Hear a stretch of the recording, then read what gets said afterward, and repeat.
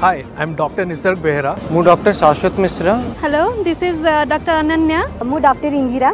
Today, I'm very happy and excited because today, our Honorable Chief Minister, Shri Navin Patnaik, sir, Nijja Hattaru, our Sabu Barasaha, Nua Dr. Manuku Nijukti Dejan, the Odisha government, Sarkar under The joining of 1,200 medical officers is a historic event. It is the highest number of doctors recruited in a single drive in our state.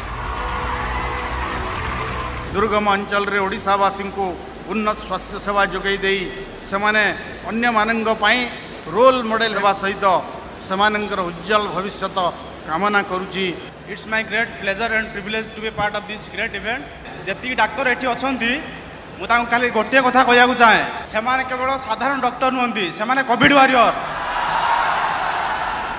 Today, I take this opportunity and express my heartfelt gratitude and thanks for appointing me to work under the State Health and Family Welfare and State the Government of Odisha and the people of Odisha. I am sure your services will certainly strengthen healthcare in government hospitals and further improve patient satisfaction. I hope all of you will serve people with sincerity and empathy. For us in Odisha, every life is precious.